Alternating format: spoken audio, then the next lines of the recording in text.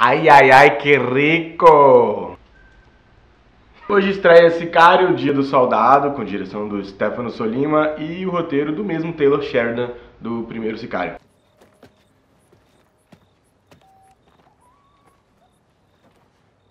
Sinopse em 10 segundos. Em Sicário, Dia do Soldado, Matt Graver e Alejandro vivem na México para enfrentar o cartel mais perigoso do mundo, com um plus, dessa vez, Homens Bomba. Indo direto ao ponto, é um filme bom, não é um filmaço, tá até bem longe disso, na verdade, e principalmente se comparar com o primeiro, aí fica mais distante ainda. Mas é um filme bem bacana, vale o ingresso, vale aí dar ao cinema. Eu diria que é um mexido com aqueles restos da geladeira que estão lá já há uma semana, assim.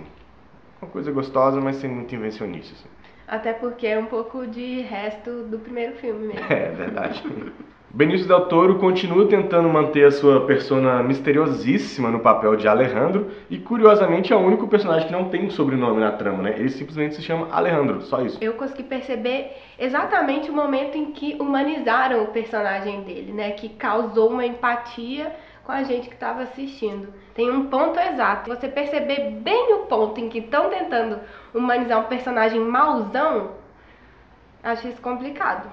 Adiós. Enquanto isso, o Thanos encarna o Matt Graver. É isso mesmo, o Cable é mais um bad boy nesse filme com motivações pessoais. Como que ele consegue, né? Três filmes. personagens muito fortes e protagonistas e ao mesmo tempo quase. E você consegue ver é, nuances, né? Não é tipo, um, você não fica assim, nossa, é o mesmo cara. Se você não Não é tipo souber- Johnny Depp interpretando a mesma personagem o tempo inteiro, né? Se você não souber a cara dele, assim, você não. É nem coisa, né? Ou o nome não, não vai fazer associação, não. Baita de um ator mesmo. Uhum. Brincadeiras à parte, a gente volta ao México, dessa vez com essa pegada mais terrorista. Então, tem um novo problema da fronteira, que é atravessar terroristas para o lado americano. E aí a gente tem uma discussão sobre o que é o terrorismo. O que é muito bacana, essa, essa proposição, porque depois fica um pouco complicado. O começo do filme transporta a gente para vários países ao redor do mundo e é até um pouco meio confuso, porque eu não sei o quão importa aquilo de fato. Tipo, você estar na Somália, ou você estar na, New Jersey, ou você estar não sei na onde lá. Então, assim, hum, hum, tanto o passar faz. do filme vai se perdendo, É, né? Esse- por isso. que foi proposto no começo.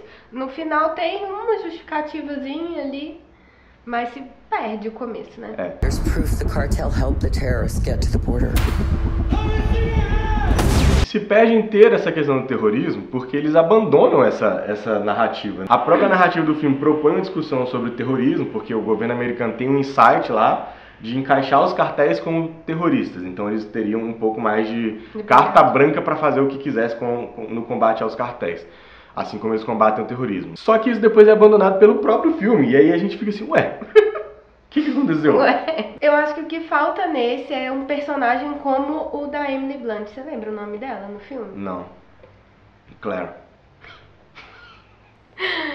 É, que é um personagem dentro da própria Força Armada Da dos- estrutura, dos Estados né? Unidos, questionando o que eles estão fazendo, né? Que essa é a cara do primeiro sicário. É um filme muito mais violento, inclusive, ele, do que o primeiro. Apesar do primeiro também ter todo, né? Tem tiro pra caramba, tem sangue, né? mas não é disso que a gente tá falando. Ele é mais violento, as proposições são mais violentas, né? As pessoas estão mais dispostas. mais violento É. também, né? É, a própria ideia da- do, do que vai acontecer no Sicário 2 é mais violenta. Eu tive a impressão de que algumas cenas foram estendidas além do necessário. Pelo menos umas três cenas eu tive essa impressão de por que, que estão mostrando isso, não tá acontecendo nada, não tem nenhum objetivo. E aí isso deu a impressão de que o filme era mais longo do que deveria. This girl was witness to the mission, correct? Yes, sir. We can't risk her falling into the wrong hands. Clean the scene. Uma coisa interessante que tem tanto no primeiro quanto no segundo filme é não, na verdade é não tem, né? Os americanos salvando o mundo, meu É. Deus, porque acho que já passou também da época de ficar encarar a realidade de que eles causam mais problemas do que resolvem. E no momento que os Estados Unidos estão vivendo, né, de construir mais muros ainda com a era Trump, eu acho que esse é um filme que vem muito a calhar, assim. Quando eu tava assistindo, eu tava pensando nisso, assim. Como é louco, como a humanidade é maluca de construir muros, não deixar a pessoa ultrapassar pro seu país E também do outro lado, né, das pessoas irem em busca de uma vida melhor apenas ultrapassando uma fronteira. Nossa, é muito complexo. Entendo. E muito doido pensar nisso. Put trust in me. Enfim, corre lá no cinema pra ver. O filme, além de tudo, é muito bonito. A fotografia não é do Roger Dickens, mas está muito bem filmado. Tá bacana de ver também os planos e tudo mais. Então, vale a pena, vale o ingresso. Corre lá, assiste e volta aí pra comentar o que você achou. Se você gostou dos nossos comentários, se inscreve aqui no canal, dá um joinha no vídeo e até o próximo. Tchau. Tchau. Ah, não falei das redes sociais. Siga a gente nas redes sociais, a gente tem Twitter, Facebook, Instagram. Procura a gente lá. Tchau. Tchau.